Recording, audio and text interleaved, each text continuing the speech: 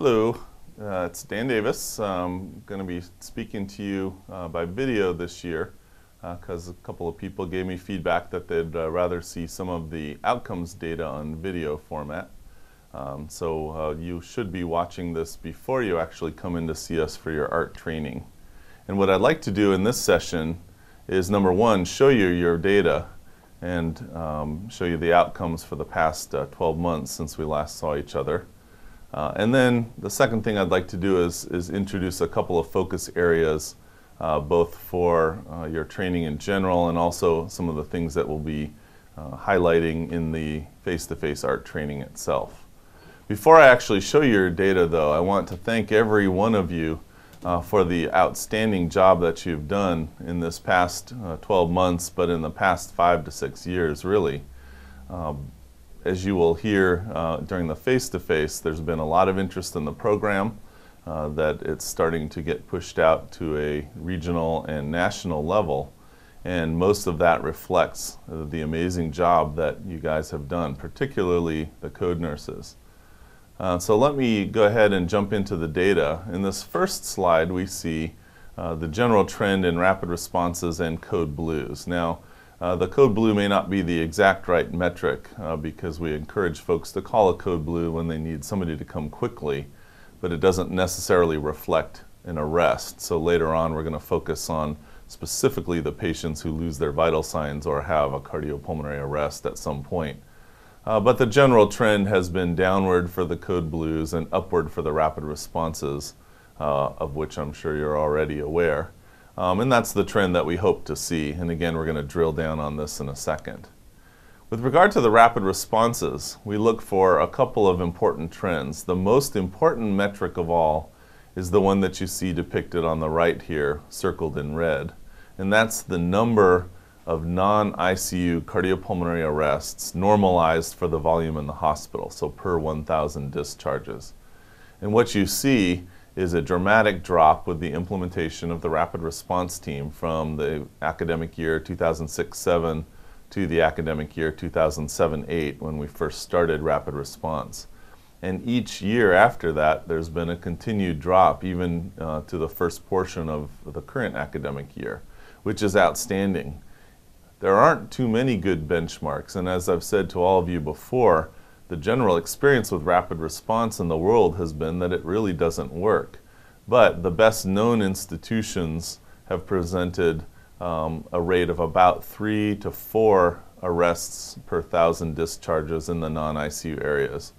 So it's amazing that our rates are less than one and are essentially less than a quarter uh, of what the benchmarks uh, are reported to be. Uh, so this is incredible. Uh, it's made non-ICU arrests almost a thing of the past in our institution. Uh, and this really involves everyone, the rapid response team uh, and the non-ICU nurses who are uh, more, more than willing to call for help when they need it. And I think the institution has really embraced this program as they've seen uh, the tremendous drop in mortality, uh, particularly in these non-ICU areas. Now we always look at the ICU arrests as well. We want to make sure that these non-ICU arrests aren't just getting dumped into the ICU.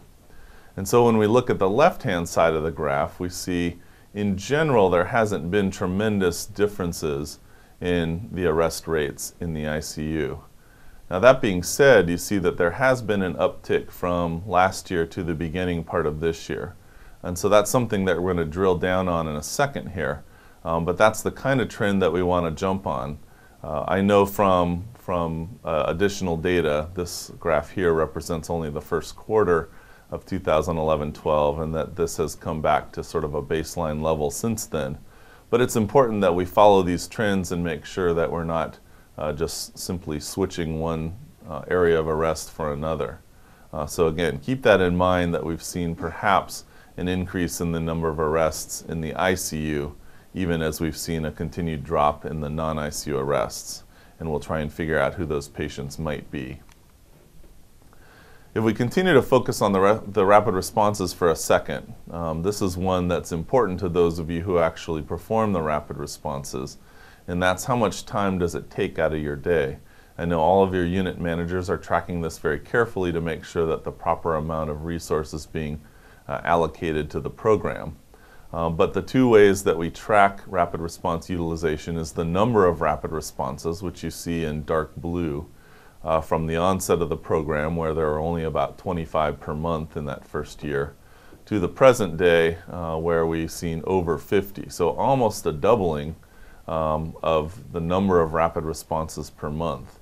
Now, in some sense, that's good. That reflects the traction of the program, the willingness of the non ICU nurses and even the physicians now to start calling rapid responses. Uh, but at the same time, we don't want to overwhelm the system, or again, we want to make sure that there's an adequate number of resources uh, put to the program. So we're watching that one fairly carefully. Um, one of the encouraging things is that the um, number of rapid responses from last year to this year has stayed constant, even as the rate of arrests outside the ICU has dropped, and that's the trend that we'd like to see. In addition, we worked after that very first year on what we called an extrication plan, trying to figure out ways to get the rapid response nurse uh, out of there and back up to the ICU where he or she has um, their primary uh, obligation or responsibilities. Uh, and those included things like uh, using the bedside team as part of the extrication plan, saying something to the effect of, uh, let's take another set of vitals in 10 minutes and then again in 20 minutes and see what our trends are. Go ahead and call me with the results, and then we'll make a, a disposition from there. Um, and so that does seem to have been effective after that initial set of training. Uh, we saw the average time per rapid response drop from an hour down to about 45 minutes, and it's stayed remarkably constant since then, that there is um, almost no variability in the, the time per rapid response. Now, one of the trends that we're watching for this year is uh, perhaps a drop in the number of very long rapid responses that are due to bed availability issues. The outliers, the rapid responses that go on for two, three, four, sometimes five hours, generally tend to be in cases where there isn't a bed available and the rapid response nurse ends up sitting with the patient until they can uh, find an adequate uh, bed. Those are, we are hoping that those actually drop uh, as we've opened more beds in the, the hospitals, particularly up at the La Jolla campus, and that perhaps bed availability may be less of an issue. Uh, so far, we haven't seen a change in the incidence of rapid responses, or in the duration, rather, of rapid responses. Uh, but um, it may be too early to tell since those beds are just being made available this year. Let's look at the cardiac arrests now. So we know that they're happening less frequently, particularly in the non-ICU areas. What's happened to survival? Well, this is the part that probably generates the most attention uh, nationally and internationally uh, because our survival rates have been so high and have been sustained even as we've eliminated a lot of uh, the quote low-hanging fruit, as we've eliminated a lot of the arrests and patients in the non-ICU areas who in general would have had better survival, we've still been able to maintain survival rates in the mid 30s or, or higher. Uh, so that is remarkable. Um, it also tells us that we maybe still have uh, low hanging fruit patients who could uh, have prevented arrests. Uh, but at the same time, I think it really speaks to the remarkable performance of the code teams in sustaining rates that are fully twice as high as the national averages. And if we add in where the national averages are from the National Registry of CPR, what now is called the Get With the Guidelines database, you can see how much higher UCSD is compared to uh, national averages. And again, that's in the face of arrest rates that are much lower uh, than our benchmarks. Um, so are there any concerning trends here? Um, at this point, not so much, but we're going to drill down on the data and who these patients are um, to give us a better flavor of where we might um, focus our training and, and our attention. One group that I do want to highlight, and they're not typically included in our inpatient database, but that's the emergency department. They were sort of late comers to the ART program, at least the nurses were because of county regulations and ACLS, but now that we've been able to maneuver past those, uh, the ART training has, has occurred um, for the entire emergency department, not just for the the residents and, and uh, faculty physicians. And we've seen a couple of interesting trends that I just want to highlight, both to give them some due credit and also uh, give you a broader perspective on cardiac arrest in general. One of them has to do with patients coming into the emergency department with what we call CPR in progress, or some people call dead on arrival. Historically, and this is based on some data from myself and Dr. Gary Vilke, uh, looking at outcomes in the city of San Diego from 2000 to 2002, we had literally no survivors that came to UCSD and for almost every other hospital in the, in the city for that matter. Uh, and that includes literally thousands of patients and hundreds being transported to the emergency department uh, it, with CPR ongoing. Uh, that while occasionally we'll bring a pulse back, none of those patients were leaving the hospital alive. If we look at the middle group, uh, this picks up when our EQVR database started in 2005. And so for the two years prior to the ART program, we again saw not a single survival for, survivor for patients coming into the hospital uh, with ongoing CPR or dead on arrival. We started the ART training with our residents in 2007 and with our faculty shortly afterwards. And the nurses um, were exposed somewhere in 2008 and 2009 to the ART program. And since then, we've had a survival rate upwards of 9% for patients coming into the emergency department uh, with ongoing CPR, which is higher than anyone has reported. In fact, most of the world is ready to give up on these folks and to tell the paramedics it's not worth bringing these people to the emergency department because there's nothing we have to offer. And at this point, we're trying to better understand who these folks are that we're actually successfully resuscitating and uh, try to give the medics some guidance as to who they could potentially bring to us and other hospitals in the city, uh, particularly if we can get widespread ART implementation, at least here in San Diego. The other group I want to focus on when it comes to the emergency department are those who make it into the emergency department alive and then have an arrest while they're in the emergency department. Uh, we haven't really focused a lot of attention on those folks.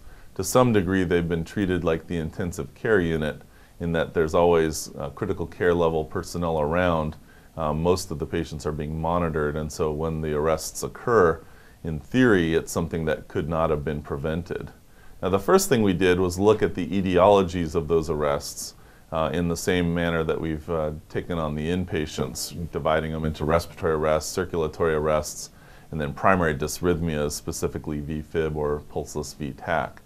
And you see that amazingly, the emergency department looks almost identical to the inpatient with regard to those etiologies. A few more VFib, VTach arrests, a few less respiratory arrests, but for the most part, follows exactly the same pattern. So that begged the question, could we implement rapid response concepts in the emergency department? not actually dispatching the rapid response team to the emergency department, but teaching the residents and nurses about the rapid response concepts, what to look for, monitoring in the same way that we do for high risk patients in the inpatient setting. Could we actually see a decrease in the number of arrests? And then, with all of the ART training, would we actually see an increase in survival? And the short answer is that yes, we've seen exactly the same patterns in the emergency department that we've seen in the inpatient setting. We've seen the rate of arrests drop to almost half of baseline, and we've seen survival, as you see here, almost double. So the emergency department has really been a microcosm of what's happened in the inpatient setting with a decrease in the number of arrests and an increase in the arrest survival rate of, for patients who do arrest, which has dramatically decreased mortality in the emergency department. This is perhaps my favorite graph, at least for this year, uh, because it tells us how things are going overall, uh, and it accumulate, accumulates all of the patients who have survived who would have died based on historical data. Um, so how do you interpret this? Well, the different colors represent different groups in the hospital. The purple represent patients who uh, arrest in the non-ICU areas and are successfully resuscitated when they wouldn't have been before. The dark blue represents patients who would have arrested before based on historical data, but who are now not arresting uh, due to the work of the rapid response team. The ICU is represented in yellow and green, patients in the ICU who would have died in the past and who aren't dying now uh, are represented in yellow. Uh, and then the improved survival for ICU patients is represented um, in the green. And then in the emergency department, the orange represents a, a combination of uh, patients who arrive to the emergency department alive and either don't arrest as they would have in the past or arrest and are successfully resuscitated in the emergency department. And then the red represents patients arriving to the emergency department dead on arrival uh, who we've now been able to bring back almost 10% of the time. And if you look at the accumulated rates, you see that very quickly at the end of this past academic year, we're approaching 250 prevented deaths just in our institution alone. In fact, we think we've identified the 250th patient, and you'll hear more about that individual uh, in the coming months. Um, but I just want to give you some historical perspective on these numbers, which are amazing.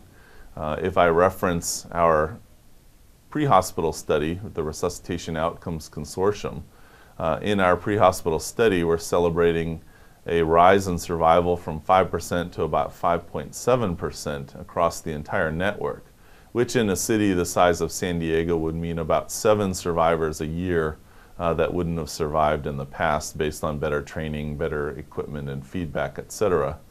Um, so seven people in the entire city of San Diego with regard to pre-hospital survival. And here in our one institution, um, we're looking at more than 50 patients a year who survive. So you can see what that would mean if we could extrapolate our programs to other hospitals in the community. Uh, if there were 20 hospitals, you're talking about literally a thousand people who might survive each year that currently aren't surviving. So the potential impact of this program is tremendous. And again, um, our nurses, particularly code nurses, deserve uh, most of that credit. We also track a variety of process measures, and uh, this might be a little bit hard to read, but we look at things um, like uh, communication within the code, competency issues, uh, and then ultimately things like bed availability, equipment, uh, pharmacologic issues, et cetera. And so just to kind of let you know the trends that we're seeing, uh, we've seen actually a drop in crowd control being an issue, and that may uh, reflect the increasing experience of our code nurses. It may reflect the increasing experience and the change in training for our house staff that are part of the code team. And Drs. Minokadeh and Sell really uh, deserve uh, the credit for that change in training. Uh, we've seen uh, competency issues for the code team itself drop, as you see on the very left side there. Uh, we haven't seen any particular issue with regard to um, a rise in, in issues uh, that we need to be concerned about. Again, we're watching bed availability, which hasn't been as much of an issue for Code Blues as you'll see for the rapid response teams in a second. And then we're also tracking competency issues for the non uh, code team members, which we didn't track before, so that's why it appears that there had been a dramatic rise in, in competency issues. That was a relatively new metric. With regard to rapid responses, again, we've seen the, the uh, drop in competency, and so that's encouraging. I think we're seeing better education overall. Uh, we've also been working fairly closely with the pharmacy on a number of issues related to medication, particularly narcotics, and so we've seen medication management drop fairly precipitously as an issue. And then with the rapid responses, there has been a drop in bed availability as a reported issue like I said before, this hasn't uh, manifested as a drop in the, in the number of minutes per rapid response, but again, uh, we may see this emerge as, as something that will decrease um, the total amount of time spent for rapid responses, or at least eliminate some of the very long two, three, four, five hour rapid responses going forward. It's just too early to tell. Now let's get into some of the areas that we're going to focus on for this year. This is the grid that we're using to categorize all of our arrests. And this is a relatively novel approach. Instead of saying dead is dead and all arrests are essentially the same, uh, we've divided it not just into the shockable versus non-shockable, which is what most of the world is focused on, but in the non-shockable categories, uh, we look at respiratory arrests, we look at vagal events, which we'll talk about in a second, neurologic arrests, cardiovascular arrests, and then a small group that we uh, can't ultimately categorize due to a lack of good information. If we then take those categories and start to graph trends, uh, it becomes really meaningful. And so if we look at the incidence of arrests, you see that the most dramatic drop in arrest incidents has been in the respiratory category. that we've seen respiratory arrests fall to being now, for the first time, not the number one cause of arrests in the hospital. At the same time, when we look at causes of arrests, we see there's a couple of them that are on the uptick that we want to focus on. One of those in purple is the VFib or pulseless VTach arrest. This may reflect the increasing um, prominence or, or, influence of the cardiovascular center. We hope that that uh, is part of what we're seeing here, that uh, more cardiac patients are coming to UCSD uh, because of the quality care available here. Uh, but when you see more cardiac patients, you're going to see more uh, primary cardiac arrests due to VFib and VTach. So that's a group that we're watching very carefully. Fortunately, most of these occur in monitored settings, so we're getting these folks to the right place in the hospital. Uh, and ultimately, we're going to look at their survival here in the next slide. The other groups that have been on the uptick, uh, you see that septic arrests are on the uptick, and we're going to talk about that group in a second here. Uh, and vagal events are on the uptick. Now, this is kind of a strange one. Um, up until this year, these vagal events were in patients who had lines, tubes, uh, catheters in place and were being moved either to go to CAT scan or MRI or were being moved to change linens or to examine wounds. And that uh, concurrent with the manipulation or movement of the patient was a drop in heart rate, sometimes all the way to asystole. This year, it's been patients sitting on the toilet, and we're not sure exactly why that suddenly has spiked up, but we've had nearly a half a dozen arrests for patients sitting on the toilet. Uh, so we're trying to figure out who those patients might be, uh, whether there's anything that could have predicted such an event, or whether there's anything that we can do differently uh, for perhaps high risk patients um, in preventing uh, this from occurring. The last group that you see in the uptick are pulmonary emboli. They haven't been a large group uh, overall, um, and uh, we're going to follow this trend. again, this only goes through the first quarter of the year, and they seem to have fallen back to a baseline level since then. Uh, but again, these are, are things that perhaps the code team can't really address, uh, but the general hospital environment needs to focus on, on uh, PE prophylaxis uh, and uh, surveillance. Now let's look at how those folks do once they have an arrest. Um, and again, we're going to have to put this together with the previous slide to really understand the impact of each of these specific types of arrests. Um, but there's a couple of important trends. The first one that I want you to focus on is the purple, kind of in the middle there. Uh, you see that uh, traditionally survival for VFib, VTach was relatively high, 50, 60%. And then there was a precipitous drop that occurred around the time that we implemented the ART programs. And I have to admit that the VFib, VTach group was a group that we didn't spend a lot of time thinking about because at that time it was a relatively low percentage of inpatients. Uh, and we didn't anticipate that we were going to see a tremendous drop like we had. But what we did was essentially go along with what the ILCOR AHA guidelines recommended, which was that shocks occur one at a time and that they be preceded by chest compressions. Um, what we saw and what we see on this graph is that perhaps that approach isn't optimal in the inpatient setting where most of the arrests occur with patients on monitors. Uh, and we have the opportunity perhaps to emphasize not only early shock, but even stack shocks. And there was quite a bit of discussion at the AHA ILCOR guidelines meeting about whether stack shocks were appropriate for patients who had arrests while on a monitor. Now, everyone agreed that that was probably the optimal approach to those patients. However, it represents a small percentage of total arrests in the world, particularly when the focus is on pre-hospital arrest, where most of the VFib arrests don't occur on monitors. And so it was decided not to address that specifically in the guidelines. However, in the wake of our drop in survival for those patients and following that discussion at the AHA ILCOR meeting, we decided to do something different last spring. And for those of you who are part of ART, uh, in 2010-11, you recall that we spent quite a bit of time focusing on how we should shock patients in VFib or pulseless VTach. And we went back to stack shocks. We reprogrammed our defibrillators to support that without a lot of button pushing. And it's encouraging to see that uh, the survival rates for VFib have come back up to where they're now even higher than they were in historical levels. And again, given that this is only the first quarter of data, I can tell you that they've gone even higher in the second quarter.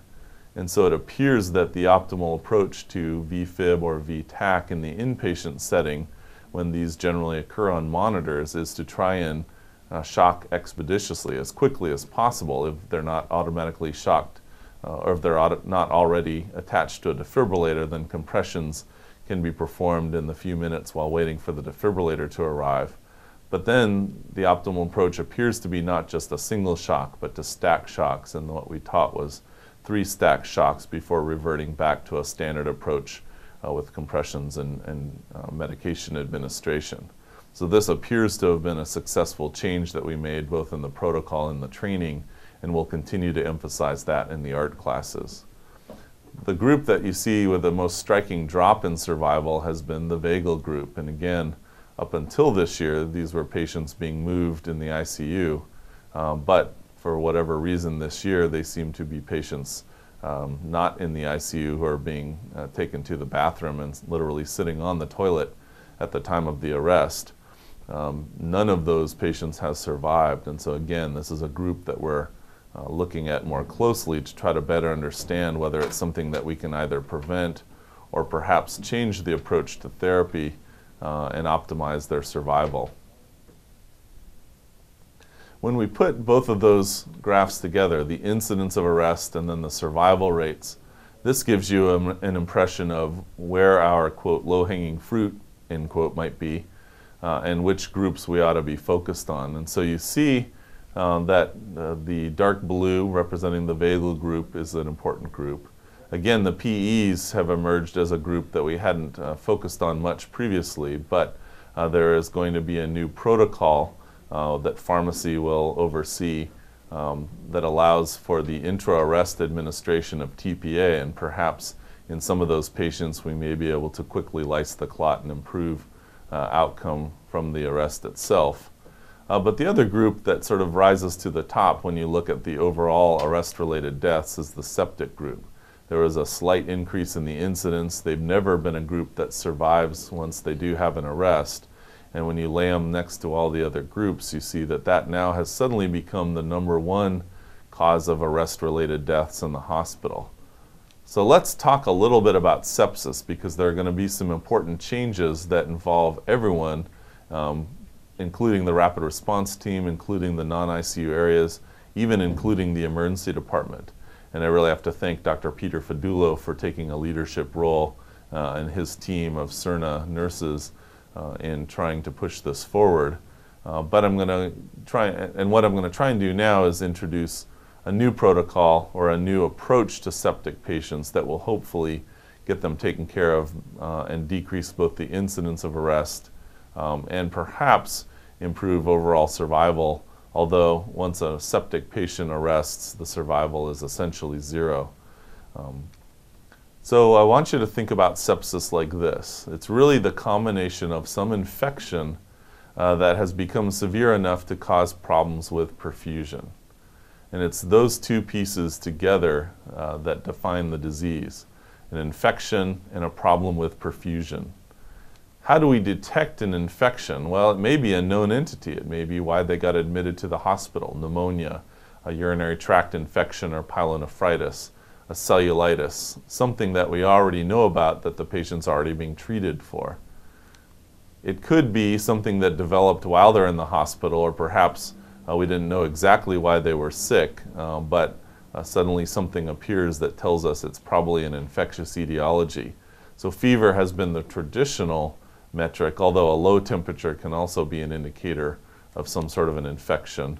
And then there might be other things. In a diabetic, uh, perhaps persistent hypoglycemia, or somebody who has altered mental status, or they're starting to complain of pain in an area that we hadn't really evaluated before that suddenly shows us there is a site of infection.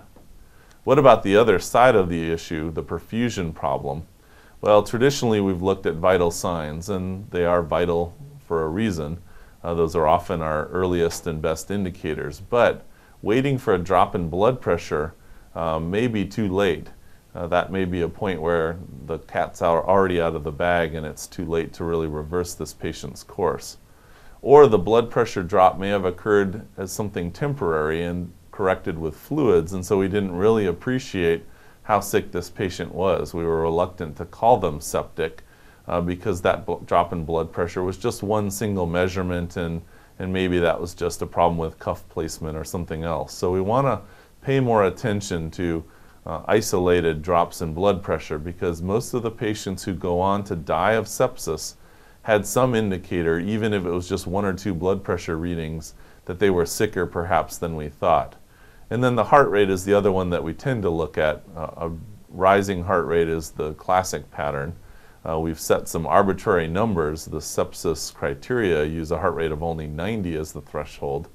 Um, rapid response criteria published around the world use a heart rate of 140, so there's a little bit of a problem there that one group is saying be concerned when the heart rate rises above 90, the other group is saying don't bother us until the heart rate gets all the way to 140 we chose sort of a middle ground for our rapid response criteria and we use a heart rate of 120 as an absolute measure. But probably more important than the absolute value of the heart rate is the trend, and that if one patient's baseline heart rate is in the 60s and now it's risen through the 70s and 80s, that should be just as concerning as somebody whose baseline heart rate is 105 and it's now gone to 121. And so you want to look not only at the absolute value of the, the heart rate, but the trends. And that's why we've defined a change in heart rate of 15 to 20 beats per minute as being an important thing to look at and perhaps initiate a rapid response call. We also look at things like end organ function, so a rising creatinine, a decrease in urine output, maybe even just a little bit of confusion, uh, which indicates a decrease in perfusion to the brain um, a sense that the fingers and the hands or the toes and the feet feel cool and that that's starting to creep upward on the limbs. That's an important uh, thing to, to consider. Um, and then ultimately, those should trigger a more aggressive approach to laboratory evaluation. Uh, starting to order chemistries looking for a drop in bicarbonate, an increase in anion gap, a rise in serum lactate, things that we associate with hypoperfusion. Um, so this is how we're going to make the diagnosis of sepsis. And what's happening in the emergency department and likely in the rapid response teams is that there will be standing orders for some of this workup so that we can better detect these patients early and then initiate the therapies. So let's talk about treatment of sepsis. The first thing we need to do is treat the infection. In general, that means early administration of antibiotics. The earlier the better. In fact, the data suggests that if you can get an antibiotic administered within an hour of initial presentation, the outcomes are going to be substantially better than if we wait two, three, four, five, or six hours. In addition, it's got to be the appropriate antibiotic. In general, in somebody who we suspect might be septic, we're going to use broad spectrum antibiotics, but even the order that they're hung is important. If, for instance, we suspect a urinary tract infection and we order Vanco and Zosyn, if the vancomycin is administered first, that's unlikely to be the right antibiotic for most urinary tract infections. And given how long it takes to administer vancomycin, it may be several hours before we actually hang the Zosyn and even more time before that Zosyn is complete. And so even though we ordered the antibiotics quickly, we didn't necessarily get them infused uh, in the right order uh, quickly enough to, to derive as much benefit as possible. There may be other things we need to do to treat the infection, and a classic example would be the presence of an abscess or deep space tissue infection. Uh, we may need to remove some sort of nidus of infection in order to expect the patient to turn around and improve. The other thing that we're going to do is improve perfusion, and that can be done in several ways. That may involve administration of fluids, and one of the patterns that we're seeing in our initial analysis of the sepsis data at UCSD is that we often under resuscitate patients with fluids. We give an initial one to two liters of fluids, and the blood pressure often improves somewhat. Uh, but then we stop, and over the next two, three, four hours, there's almost no fluids administered. And then six, seven, eight hours later, the patient has a return to hypotension that's not quite as responsive the second time through.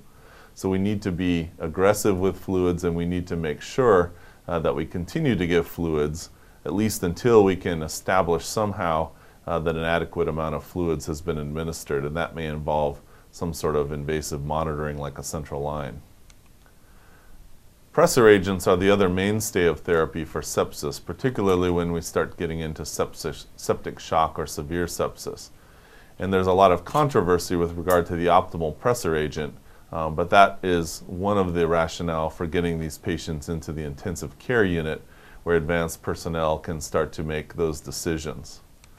The last thing we want to think about for improving perfusion is transfusing patients who might be anemic over the last decade or so, we've gotten into the habit of permissive anemia, allowing patients to drop hematocrits below 20%. However, in a sick patient, particularly somebody with comorbidities, they may not be able to handle that level of anemia and they may need to be transfused more aggressively to keep the hematocrit at 30% or higher. Now let's take a look at the arrest algorithm for 2012. Um, the first thing you see that ART is combined with PART. What is PART? Well, PART is the pediatric version of the algorithm. We haven't yet decided if we're going to issue different cards to those who only treat adults versus those who treat adults and kids. But it's an important conceptual move forward to say that all humans need to have a similar approach to resuscitation and that certain things are done only in adults, other things are done only in children, uh, but in general, the approach is the same. And for those of us who treat children or who may treat children, but not frequently enough to stay confident and competent in pediatric resuscitation, using a similar algorithm uh, improves the likelihood that we'll be able to do an effective resuscitation. And ultimately, the treatment that's rendered is essentially identical to other algorithms like PALS. If you look on the upper part of the algorithm, we've emphasized that box that says if there's a monitored arrest in VFib or pulseless VTach, we're going to defibrillate as soon as possible. Now, that doesn't mean we can't start compressions if the patient's not already attached to a defibrillator, but it means that the priority becomes get the defibrillator to the bedside quickly, let everyone know that this patient needs to be defibrillated, and not only provide one single shock, but repeat at least two more times so that we have three stacked shocks. And part of your ART training this year uh, will be to refresh on how the defibrillator will help you uh, pull that off. The mainstay is still in the CPR box, or what we call CPR island. You see that our same four tasks are present, compressions, ventilations, pressor, and monitor. Uh, that again, we're alternating vasopressin and epinephrine every three minutes. And pharmacy is taking a more and more aggressive role at making sure that those pressor agents are administered appropriately. So you should see the pharmacist step to the front and remind you when it's time for your next dose of a pressor, whether it's vasopressin or epinephrine. Uh, looking at the monitor uh, for signs of a shockable rhythm or uh, for uh, indications that the patient may have return of circulation. Both of those things are the two things that would be an indication to stop compressions, um, only for the moment of the shock itself and then a return to compressions, or once you have everybody lined up and ready to go, to briefly confirm that the patient does have spontaneous circulation or returning back to compressions if that can't be confirmed. And again, you'll practice that in the ART class so that you know how the monitor is going to help you with both of those decisions. Given that the filtration software is helpful but not perfect, uh, we are starting to to uh, train that you would take a confirmation or a confirmatory pause in compressions when you think you might have a shockable rhythm. We see about 20% of our shocks uh, are on non-VFib or VTach rhythms, and I think part of that is, is that we've uh, um, come to expect a little bit too much from the current generation of filtration uh, software. In the post-arrest care, uh, you're going to see a move towards more aggressive hypothermia, in the hospital, even for patients who arrest in the hospital. Traditionally and historically, most of our hypothermia patients have been patients who had an out of hospital arrest or an emergency department arrest, not an inpatient arrest. And so the clear uh, trend is towards trying to cool all patients unless there's an absolute contraindication not to cool them, of which there are very few. And so expect to see more cooling of patients uh, with in hospital arrest who remain comatose after the resuscitation. On the perfusing side of the algorithm, uh, there aren't really any changes here, but one that I am going to point out that will change uh, in the next couple of months. Uh, you see again organized around the rapid response team concepts with um, circulation or perfusion deficits, ventilation deficits, dysrhythmias, which are treated separately because the therapies focus on drugs and uh, use of the defibrillator or pacer, and then the neurologic uh, abnormalities over there on the right. Uh, with regard to the dysrhythmias, and specifically the tachyarrhythmias, this is where we're going to see one minor but potentially important change on the stable tachyarrhythmia side. The amiodarone that we've been talking about for several years, uh, the, the traditional formulation, uh, was dissolved in a substance that tended to drop blood pressure precipitously. So the general trend in managing a patient, particularly with VTach, was to move towards cardioversion because it was much safer than administering a dose of amiodarone. However, the company that makes amiodarone now has a safer version called Nexterone, and that we will have that drug available in the hospital uh, over the next several months. That will give us a new option for treating VTach and perhaps even treating atrial fibrillation and some forms of SVT that aren't responding to adenosine. Um, this new formulation uh, does not appear to drop blood pressure. It's only available really as an infusion, uh, and it's a fairly high volume of several hundred milliliters, so it probably won't be used initially uh, for cardiac arrest patients in a shockable rhythm. But uh, for stable patients with a tachyarrhythmia, particularly VTach, I think we'll see more and more use of Nexterone in that specific situation. Uh, because of the cost of the drug, uh, we probably won't use it for ongoing infusions where we don't tend to see the same incidence of hypotension anyways. The rest of the algorithm looks fairly similar, similar to last year. Uh, again, in your ART training, we'll practice the unstable tachyarrhythmia cardioversions, and then we'll also practice pacing, which again is fairly simple given the changes that we've made to the software. The other thing that I want to talk about that's going to be uh, introduced at some point in this next year is what we're calling the Apnea Monitoring Program, or AMP.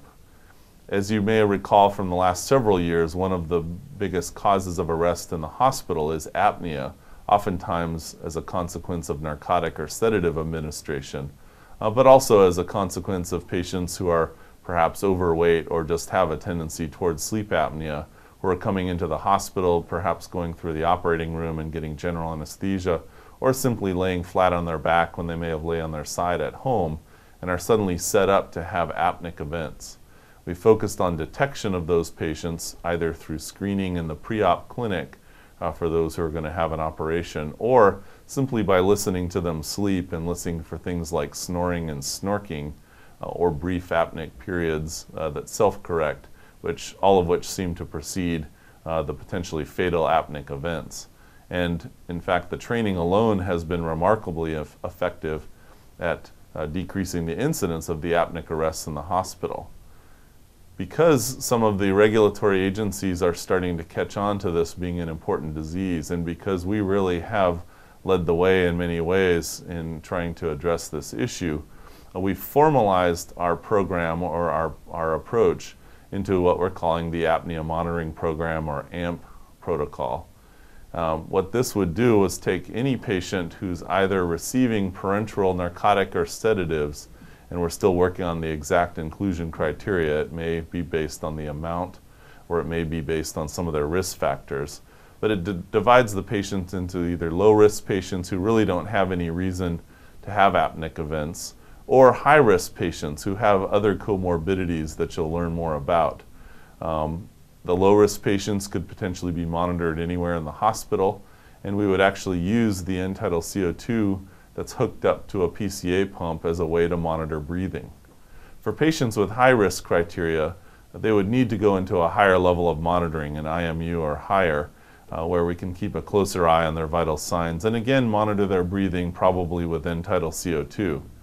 In addition, patients noted by anesthesia to be at high risk of apneic events, patients in whom we know uh, they have sleep apnea and perhaps even have PAP therapy at home, or patients who had a rapid response related to a potential apneic event. could also be lumped into this high risk category and monitored in an IMU or higher. If that patient is triggering lots of apnea alarms, which a lot of these folks will do, they may need to be considered for emergent PAP therapy.